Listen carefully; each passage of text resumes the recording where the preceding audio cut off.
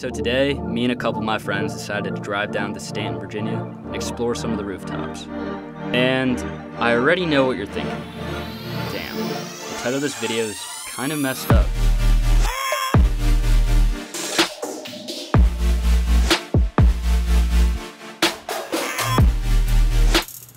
I want to ask you something. I want you to reevaluate what you did this weekend. If you could honestly say that 75% of the time you spent was productive, well, then you have some pretty good friends that you should probably keep around. If that's the case, then I guess you could skip over this video. Unless, of course, you want to see some cool cinematic clips, then I guess you'll enjoy it.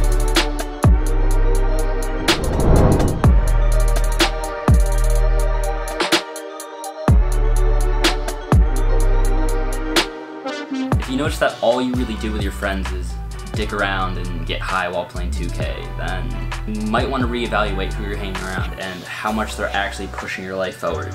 By pushing your life forward, I mean what you really want to be doing with your life, what you see, what you envision at the end of every single day. What do you want to get done? What's going to make you feel fulfilled? Now, I'm not saying to drop all your friends just like that and completely ghost and go on to a whole new rampage lifestyle with these new friends. Like, that's not what I'm saying at all. That wouldn't be morally right as I'm sure a lot of them really do mean well and you care for them and they care for you.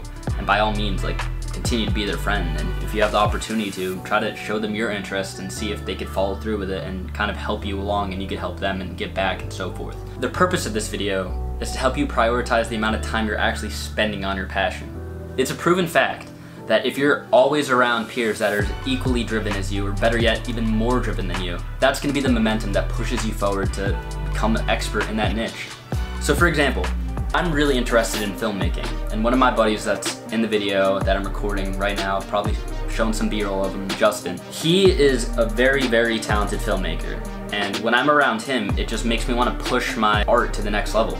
I see the cinematic B-roll he's pulling up. I want to be able to compete with that. I see the smooth buttery shots he's getting. I want to make mine smoother.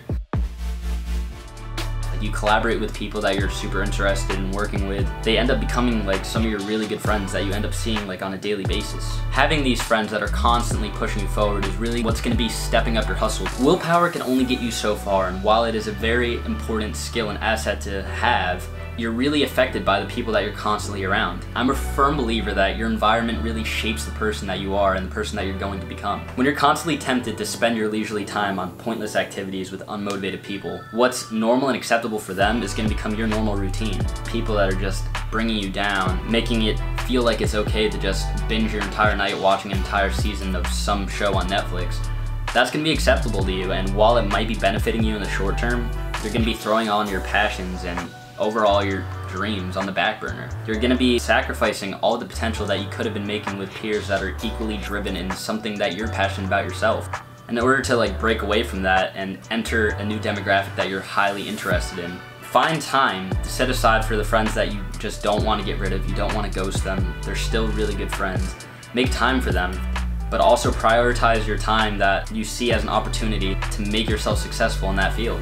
Why not hang around with people that really love what you're doing, that are gonna push you forward and make you become the best person you could possibly be?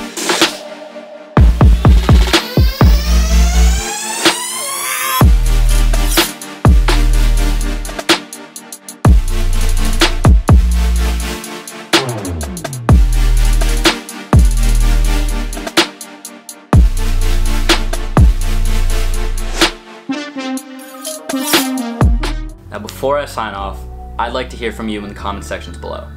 Out of all of your friends, who inspires you the most and what about them inspires you? I always strive to provide you guys with the best content I possibly can, so your feedback means the world to me. Drop a like if you enjoyed the video, and if you have any suggestions for a future topic that you'd like me to cover in my next video, drop that in the comment section below as well. Lastly, subscribe to the channel if you like the content you're seeing, if you like the cinematic clips, if you like the information I'm giving out just from my personal perspective. I'd really appreciate if you hit that subscribe button below and checked out the rest of my videos on the channel.